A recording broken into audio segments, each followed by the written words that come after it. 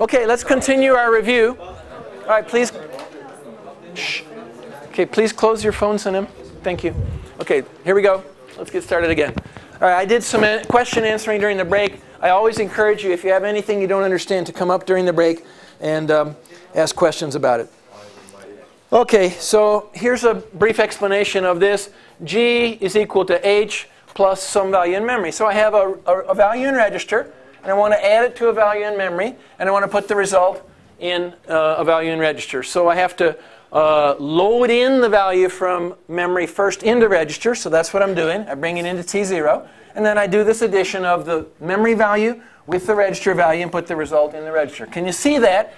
This takes two assembly operations because we refuse to do arithmetic on memory values. So the first operation brings a memory value in to become a register value, and then we do our arithmetic on all register values. Okay? Now you might say, well, Hoja, two instructions is slower than one. Wouldn't it be better to do the one and allow it to reach into memory to get an operand? And that's a very good question. And the answer is, if it's faster, let's do it that way. If it's slower, let's do it this way. But not just for this one. We have to look at thousands of lines of code and thousands of programs and profile what software does and find out how common is it to need an operand from memory. In fact, why couldn't the compiler put that operand in register? Maybe you didn't have enough registers. It needed to use memory. Could be a lot of reasons, but uh, the RISC revolution is all about optimizing the compilers to use simple instructions and make the common case fast, such as all register operands, and occasionally have a slow case. This takes two instructions. Okay? This one's going to be slow because it goes to memory. This one's going to be fast. So we've got a slow one and a fast one as opposed to a single slow one. If you allow this to be here and allow you to get one register operand and one memory operation, I guarantee you that's going to be slow because you're trying to both go to memory and do the addition in the same instruction. This way we only go to memory, and this way we only do the addition. Turns out you can actually pipeline these kind of instructions and get some speed up. So it's not as slow as it looks. All right, that's called the base register, S3. Why is it called the base? Why is it called the TEML? I didn't hear. What, what was your answer to the question? What was your answer? I asked a question, you were answering it? Well, I thought you were talking. You weren't answering the question? What were you doing then? What were you talking about? Okay. All right. Let's, let's try to keep personal discussions in this direction so that everybody can be a part of them. It might be that everybody needs to benefit from that, but let's try not to have little personal huddles in the class, okay? All right, let's ask the question again. Why is S3 called the base register? And this time I am asking you.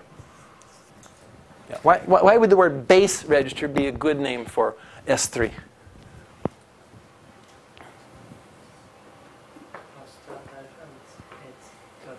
Yeah, it's part of the address, isn't it? 32 is going to be part of it, and the value stored in S3 is going to be the other part of it. So it's the base or the TEML of the address that we're going to go get data from. So it's the base register for the calculation. Is it the whole thing? Yes, if I put a zero here, but it's only part of it. So it's the base of the calculation. Add 32, now we have the full address. We go get the data from memory in that location and store it here. Okay, so that's when we have a memory operand. Uh, this is called the offset. So the base address plus the offset, which can be positive or negative, allows us to calculate the full address. Okay. Here's a second one. Now notice here, I've got a memory operand and a memory destination. Can you guess what I'm going to have to do here? Don't look. Can you guess what I'm going to have to do? That's in memory, but I can't add or operate on anything in memory, can I? So I'm going to have to bring it into register, add it to this, and, and get a what? A register result but it's supposed to be a in memory. So what am I going to need to do? Store it back. So just as you expect, first bring it in, do the operation, then store it back. Okay? All right. So that's how it works. Oh, and just notice one more thing here. An offset of 8 words is an offset of 32 bytes. An offset of 12 words is an offset of 48 bytes. Does everybody see the relation between this and this? Tell me, can anybody tell me the? This is obviously an array structure named A, and it's got you know members from A0 all the way down to A, whatever the nth one is, okay? So we're interested in A8, and we're interested in A12, okay? There's a bunch of other ones besides those, but we're just interested in A8 and A12. Now this is a high-level language from C code, so if this is an integer, how many bits will it be? 32 bits. How many bytes is that? 4 bytes. So if this is an integer, how many bits will it be? 32 bits. How many bytes? 4 bytes. Okay, great. So now, if A0 in my abstract data structure called array is located at some address, where is A1 located? The next word address, but in terms of bytes, four bytes later. Because this takes four bytes to store a word, and this takes four bytes, and this takes four bytes. So when I get to A8, it's this address plus 32 more bytes. When I get to A12, it's this address plus 48 more bytes. All right, now the last question is, where do I find the address of A0? Where's the starting address of this array in memory? Where's the starting address of this array in memory? Where's the memory address that addresses where the first byte of A0 is stored? The answer is it's inside S3. That's the pointer. S3 by itself points to right here, the base of the array. So that's another reason for calling it the base address. It's the base of the structure. And then you need to know what? The offset. You need to know how far away is that, how far away is that. Okay, that's pretty significant. I'm going to tell you, half of you will make mistakes for quite a while figuring out that eight words doesn't equal 8 bytes. It equals 32 bytes. And 12 words doesn't equal 12 bytes. It equals 48 bytes. But you have to remember that, or your code at the assembly language level is berbat. It's useless. It's junk. It's troop. Okay, you must remember that. A word is 32 bits, therefore it's 4 bytes. At the assembly level, we're talking about addressing bytes because memory is byte addressable. Can everybody see that high level doesn't even know about bytes? Low level only knows about bytes. This is closer to the machine. It sees the real memory. This is some kind of abstract data structure. Right? ADT, abstract data type, CS201202. You know lots of them. They're all abstract. Why is it called abstract? Kopmush from the reality of real memory. I think that's the way I would define it. I'm a hardware guy. So anything abstract is Kopmush from reality. It means there's a lovely gap and you don't have to worry about how that gap is filled. But oh, Zavala says now you're in 224 and you do have to worry about how that gap is filled. Abstract things have to become real and practical. You have to understand how they're mapped into memory. Now an array is pretty easy. Because an array, everybody knows, after the first element is the second element, after the second element is the third element, after the third is the fourth. They're pretty easy. Let's worry about linked lists and trees later, okay? You got to map those into real memory also. Oh, no, Hoja, I couldn't even get them when they're abstract, let alone real. Please, Hoja. Ah, oh, Lutfen. Well, don't worry, we'll, we'll save you that pain until a little bit later. But all data types, if they're not already built into the machine as physical original types offered by the machine, are therefore abstract, and the gap between abstract and physical, what the machine offers and what you want at the high level, is filled by the assembly. What have we done here? We added two instructions that weren't here in order to fill the gap. That and that are because high level allows operation on memory operands and low level doesn't. Low level only allows operation on register operands. Okay, now you're beginning to say, uh, is this stairs really meshboard? Do I really have to take it? Is it a must? I don't like it. It's getting nasty. There's some things here that are painful because they're real. It was so nice to just drift around in the lovely world of abstract data types. Now you're telling me they all have to be rooted in reality. Yeah, they do, because they all live in real memory. They all live in real memory. Okay? This is what I, I, enjoy. I enjoy breaking people's pembe, you know, garouche and showing them the hard realities of how computers really work. All right, let's go on. Okay, our I format, as you remember, the immediate format says opcode register, register, immediate. Okay? Now look what I got here. Opcode, register, register, and an immediate. Okay, so you can guess that the offset is going to be here, and the base register is going to be one of these, and the destination register is going to be the other one, and that's the code for load word. Right? To be honest with you, I don't actually remember if this one maps to that or that one maps to that. I think the t's begin with 8, so the t0 is 8, therefore the S3 is this one here. So RS and RD, no T. So RS stands for source. Yeah, that's a source of the calculation. That's the destination. Makes sense, okay? Remember, when we don't have RD, then RT functions as my destination. When I do have RD, then RT is a Kardesh with RS. It's one of the sources. Remember the three registers? Oh, I'm running out of room here. Remember the three registers? In the R format, they go like this. RS, RT, RD. When you have them all, these are Kardesh. When you get rid of this one, this one functions not as a Kardesh, it functions as the destination. Okay, got it? RT goes both ways. Functions as a destination when it has to, functions as a source when it needs to. Okay? All right, we just have op, rs, rt, immediate. So this is my destination. So that's the code. 8 is the code for T0. Any questions about that? All right. So the load words code is 35. The S3's code is 19. The 24's code is 24. But notice there's a little cheat here. It says 24 base 10. What's the real thing going to be there? What's the real thing going to be there? Cipher, cipher, cipher, cipher until we get down to the last bits, and then what? A 1 in the place for the 16, and a 1 in place for the 8, and then cipher, cipher, cipher, right? Everybody know that? You know, EQ dirt, EQ zeri uch, zeri ki, EQ zeri bir, EQ What do I need? I need a 1 there, a 1 there, a 0, 0, 0. So it's all going to be zeros except for that, right? Are we okay?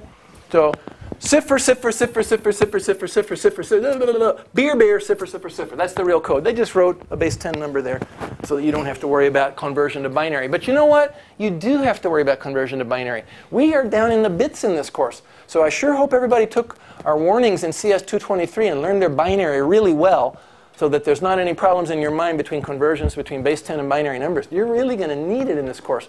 If you didn't, one more time, go back and learn how to work with binary arithmetic and binary numbers. Lutfin. Okay, so this says add 24 to the value found in S3.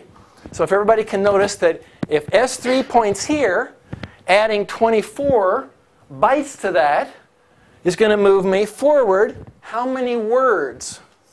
Six words. Now you notice that these are not bytes of memory. They put words of memory, I think, here. Is that right? Yeah. Can you tell? Because look, cipher, then dirt, then 8, then J, then cipher, then, yeah, okay. So these are actually 32 bits of memory, which means that they took my byte-wide diagram and placed four of them together and wrote it out. So actually, six more, and, and, and, and yeah, from this address is going to get us to some location, which is going to be that and that value is going to be fetched out and loaded into register T0. So there's the arithmetic to do it. So I notice uh, it's in ones and zeros. Can you see here that this is the 9, 4 from there? That's hexadecimal. So 9, 4 is added, which was this, is added to 24, and you can see there's the 16 and there's the 8, so there's the 24, but base 10 24 is beer sekis in, in um, uh, octal. So beer sekis added to 9 4 gives this number, and that's ending in AC. And where do we have it? Oh, we're adding. I'm sorry, is this going down? Yeah, so it would be up this way. So add six more, and you get up somewhere in here. All right. I've said this before about byte addresses, so I'm, I'm going to skip big endian, little endian. It's up to you, of course, to come back and review the slides. MIPS has special instructions if you don't want to load in a whole word, if you just want to load in a byte. LB, whole word, LW. What do you think LB does? Load a byte. Where does it get the byte? Gets it from there. Where does it stick it? Sticks it there. But that's not a byte. That's a 32-bit register. So we said get a byte from here. What do you think it's going to do? It's going to get one byte from memory. And it's going to stick that byte in this 32-bit word where? And what's it going to do with the other 24 bits? Yeah, fill the other 24 with 0. So now the only question is, okay, so I'm going to stick it into a 32-bit word. I've got four places I might stick it. Most significant, second most, third most, least significant. Where do you think I'm going to stick the byte that I got? Right there, least significant. This will all be filled with zeros, and the byte from memory will go right in there. That's load byte. All right, how about store byte? What do you think that's going to do? Store a byte to memory. Now it says start with the value in T0. Oh, Kojaman 32-bit word. What byte shall I take? That one, that one, that one, or that one? Which byte shall I take? That one. And store it to where? Exactly that byte address in memory. Not the 7, 8, 9, 10. Those are not involved. Only that plus 6. One exact byte location in memory, we store it. Okay? So if you want to work with a byte, you can. Memory is byte addressable. You can address a particular byte and get it and bring it in or write something else in it. Any questions about LBSB? Okay, what do you think LH and SH do? We got a family night. We got LB, SB. We got LW, SW. That's for word, that's for byte. What do you think H is? No. half word. Half word. So byte is 8 bits. Half word is 16 bits. Word is 32 bits. Okay? So now we're dealing with 2 bytes, the half word. Take the half word and store it, or get the 2 bytes and put it in the lowest two, lowest half of the word. Half word, but lower half word. Okay? So we got LB, LH, LW, SB, SH, SW. Okay? All right. We talked about which ones get loaded and stored. Unsigned binary, you said that you knew this, and Typhoon taught it pretty well, so we won't do this review. We'll skip right through all this binary arithmetic stuff. Just be sure you know it. Just be sure you can do binary math, okay? Sign two's complement, negation, sign extension, hexadecimal. All right, now we've come to immediate numbers. And obviously, this says I need a 4. This says I need a 15. So I got to stick the 4 in here, stick the 15 in here, right? So the number has to be there. So ADDI says add this register and the value 4 and put it there. SLTI says set if less than with an immediate operand instead of two registers. SLT requires register, register, register. SLTI requires register, register, and an immediate. Every time you see an I, expect that you won't see a register. Instead, you'll see an immediate. Okay? So this says if S2 is less than 15, set T0. What does it mean, set T0? T0 equals 1. You set it to 1. Pecky, if it's not, set it to 0. Clear it to 0. Don't leave it alone. This means we're going to change T0. When you're done with this, it's either going to be cipher because it wasn't less than that, or it's going to be 1 because it was less than that. If they're equal, is it going to be set to 0 or 1? Zero, because it's not less than. It says less than to set. If they're equal, it's not less than. So you don't set, you clear it to zero. Okay? So that's the meaning of SLT. If I have ADD, I expect register, register, register. Put an I in, I expect register, register, immediate. Same thing with all of them. If you see the I, the third one should be an immediate, and the format will be the I format. Okay? All right, now you can see that the value 15 is stored here in the immediate field. So that means it's this instruction. So therefore, S2 is 18, and T0 is register 8, and the code for SLTI is 000. Hold on, there's a, that's a 6-bit number. Let's work out what that is, 0A.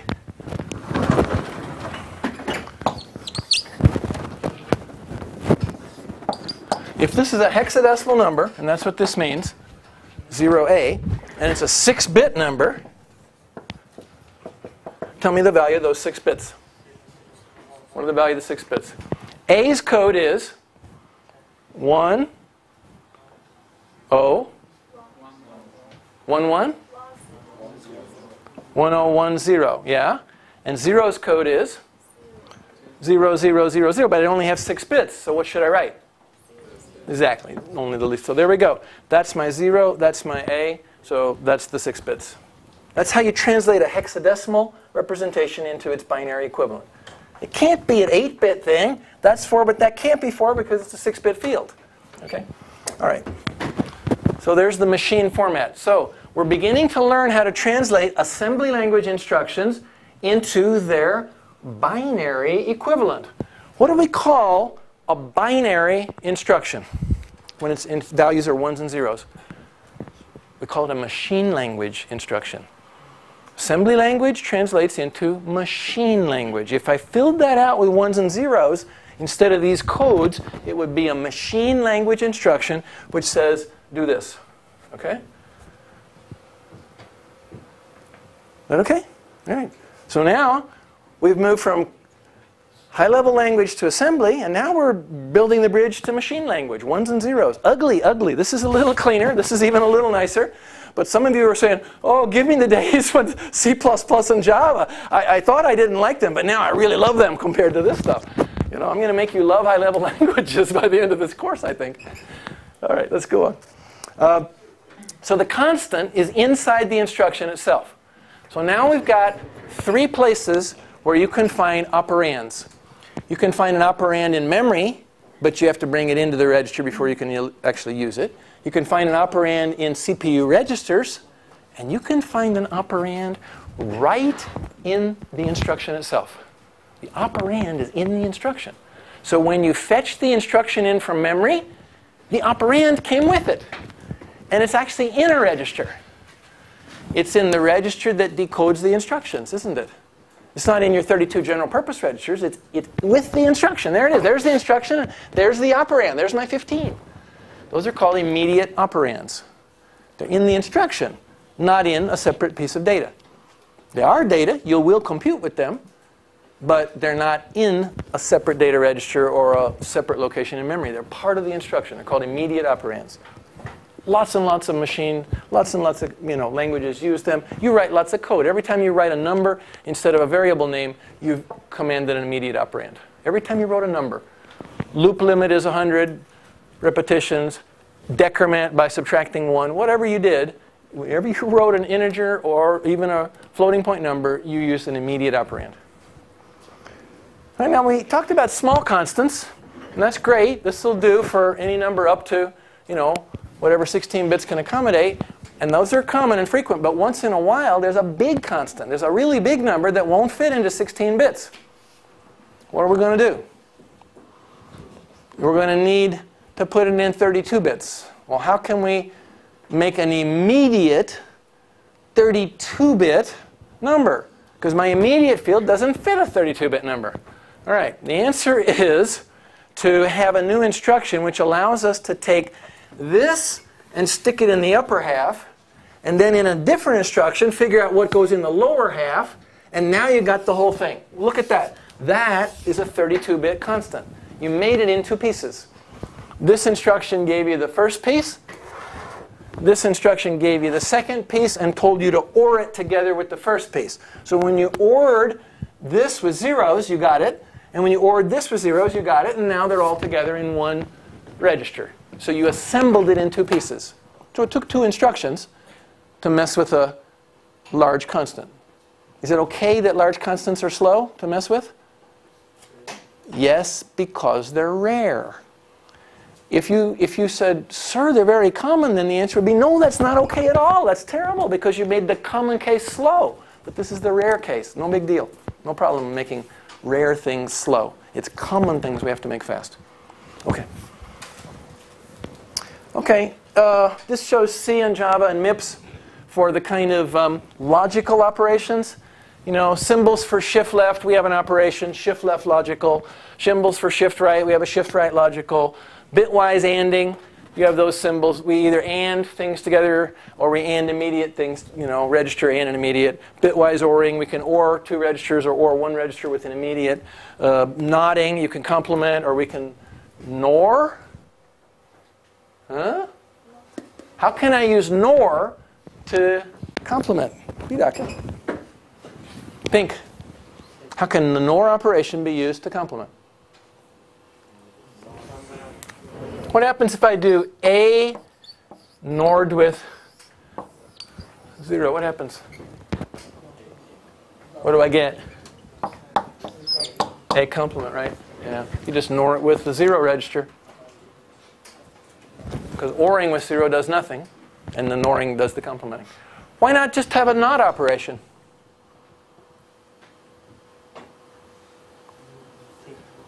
Let me ask. This takes two operands, doesn't it?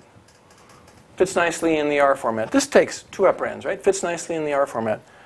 This only takes one operand. Doesn't really fit a format that we have. This is back to taking two operands, fits nicely in the R format. Regularity leads to simplicity, which leads to speed and you know easy to implement and organize. So keeping it regular, you said everything takes two operands. It's a good thing to do. All right.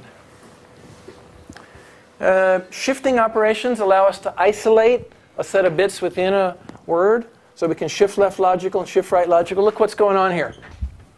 This says shift this 8 bits to the left and put the result here. This says shift this 8 bits to the right and put the result here. When we do logical shifting and you move things, what goes in the empty new locations? Zeros. When you do arithmetic shifting, what goes in the empty locations? Arithmetic shifting. Not logical. SLL says shift left logical.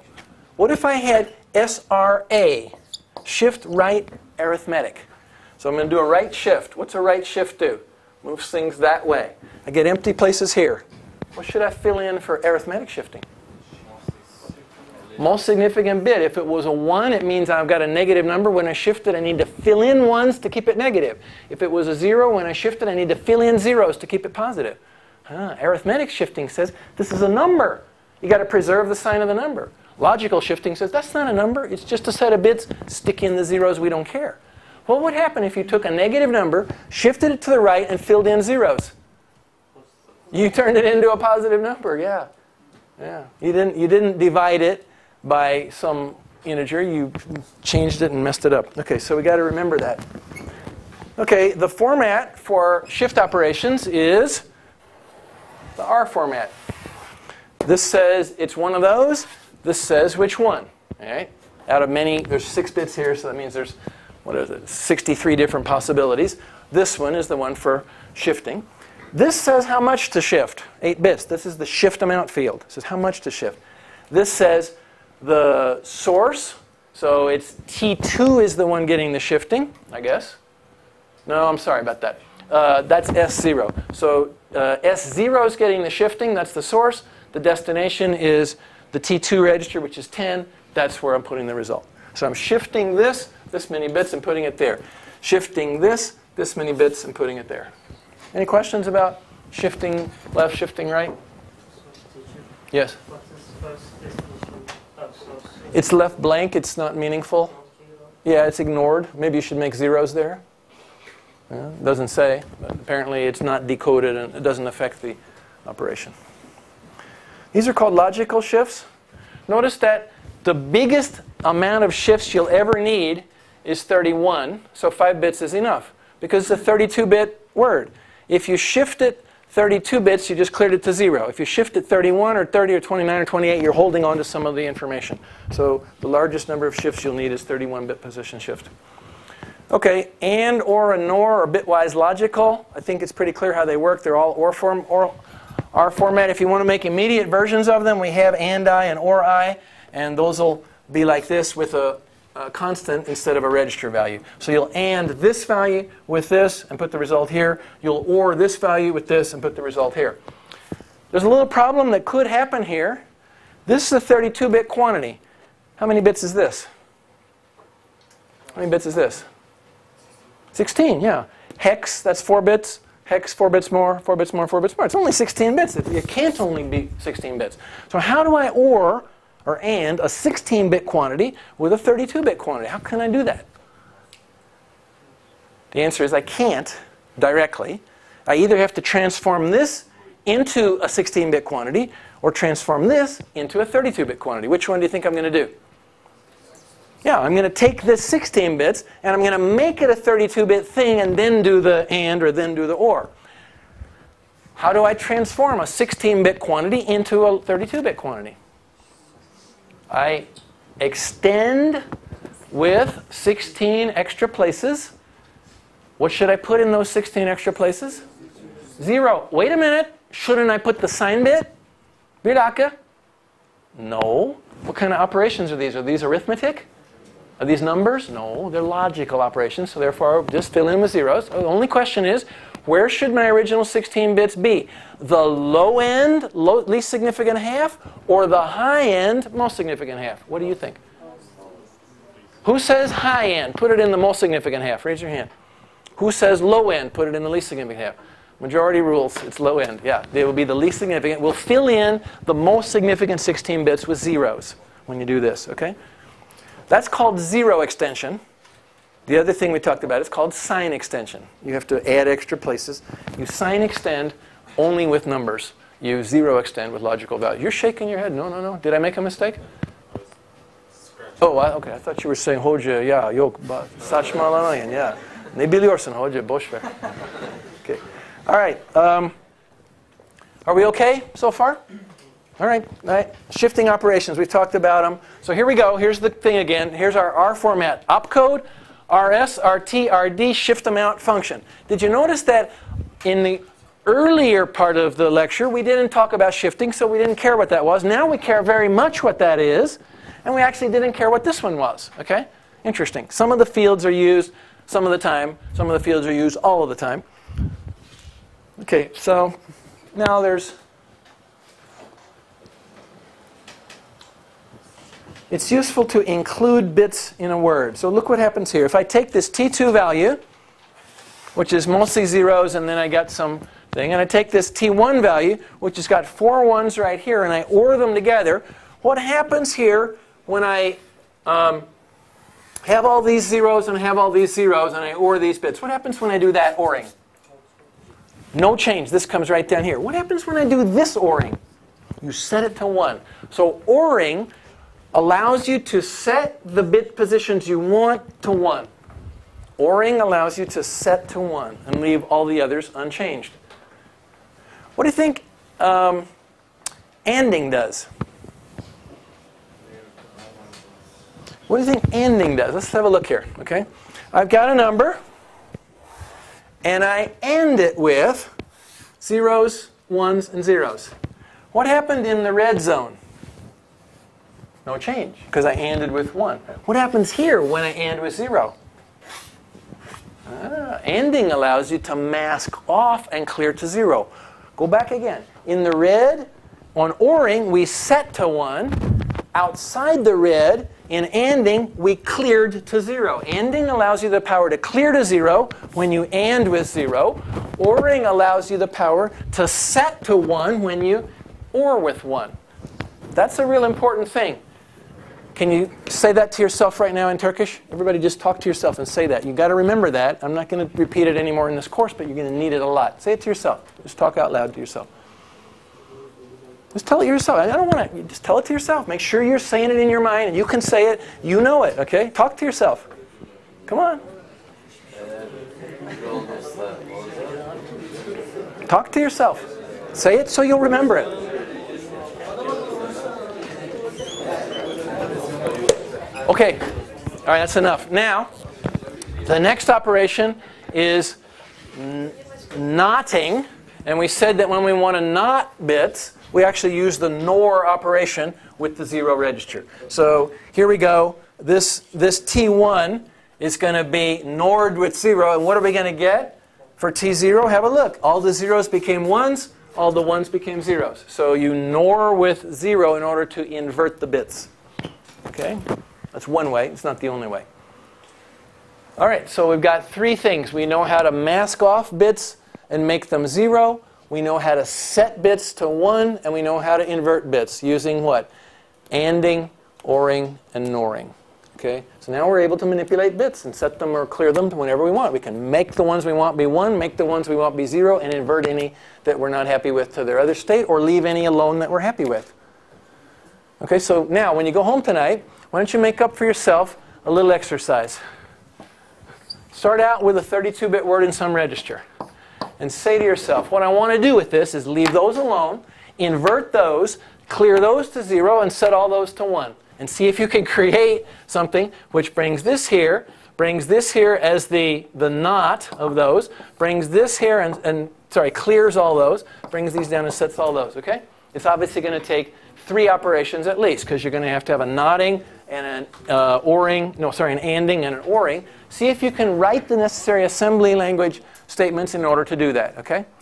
That'll be an interesting challenge. If you can do that, then you've got this part. You understand how to do bit manipulation. Yeah, make it easy for yourself and do them in groups of eight. Later on, we'll ask you more challenging questions, doing them in ones and doing them when they're separated from each other, making it a little bit harder. But right now, just start with groups of eight. Take the first byte and bring it straight through and don't bother it. Bring the second byte and be sure you invert it. Bring the third byte through and make sure you clear it off to zero. Make the fourth byte, whatever it was, make it all ones. Okay? Using anding, oring, and noring. Okay. That's all for the review. Thank you very much. We're done a little bit early today. Uh, are there any questions that you want to ask about this set of slides and this material in chapter 2? Okay, uh, my friends, this is the only time in the whole course when you're going to hear something taught twice, okay? You got two hours of it last Friday, two hours of it again today. You can imagine this is a luxury we cannot afford, and we will not do this again, all right? So see you next time on, on uh, Friday.